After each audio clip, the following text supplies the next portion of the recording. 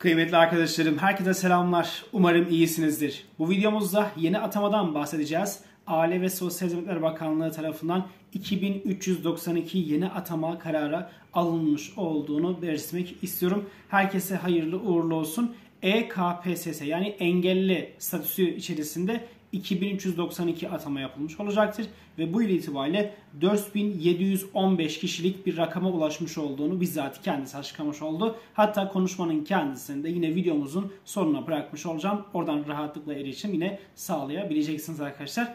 Bütçe görüşmeleri yapılıyor biliyorsunuz. Bütçe görüşmeleri içerisinde sadece ve sadece EKPSS veya işte farklı haklardan yararlanmış olan kişiler değil, KPSS bünyesindeki Sağlık Bakanlığı ataması içinde yine bir iki açıklama var. Onların da bilgisini ilerleyen videolarımızda aktaracağız arkadaşlar.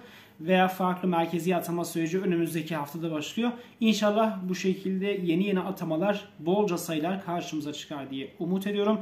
EKPS dostlarım uzun zamandır bekliyordu. Onların hakkıydı hayırlı uğurlu olsun. İnşallah bundan sonraki etapta ne zaman başvuru başlayacak, nereden başvuru yapılacak, doğru tercih nasıl yapılır ile ilgili bütün kısımları da günü gelince tekrardan konuşmuş olacağız. 2392 memur ataması EKPS'li dostlarımıza hayırlı uğurlu olsun. Darısı KPSS puanıyla atama bekleyen birçok danışanlarımıza, birçok takipçimize olur diye umut ediyorum arkadaşlarım. Bundan sonraki etapta Sağlık Bakanlığı ile ilgili, merkezi atama ile ilgili veya farklı Ticaret Bakanlığı gibi bakanlıkların yapmış olacağı açıklamaları tek tek karşınıza çıkarmaya gayet göstermiş olacağız. İçişleri Bakanlığı'ndan özellikle bir hamle bekliyorum. Büro personel düzeyinde 2022 KPSS puanıyla çok çok az bir atama yapıldığı için bütçe görüşmelerinde bu sayının da daha da artırılacağı kanaatindeyim. Büro personeli olarak da ön lisanslar, lisanslar başvurabileceği bir atama olacaktır diye düşünmekteyim.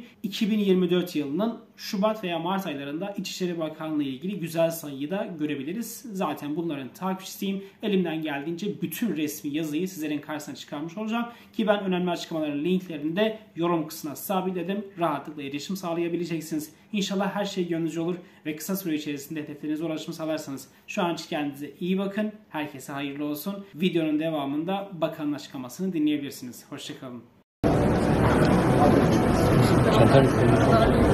Engelli memur atamasını tam 12 kat arttırdık. Ee, bildiğiniz gibi geçtiğimiz Şubat ayında da bir e, engelli memur ataması gerçekleştirmiştik. Ee, inşallah yeni yılla birlikte 2392 engelli vatandaşımızı inşallah atacağız. Bu müjdeyi sizlerle paylaşmak isterim. Böylelikle bir yıl içerisinde aslında toplam atadığımız engelli vatandaşımızın sayısı e, 4715 olacak. Çok teşekkür ediyorum. İnşallah bunda bütçede konuşacağız.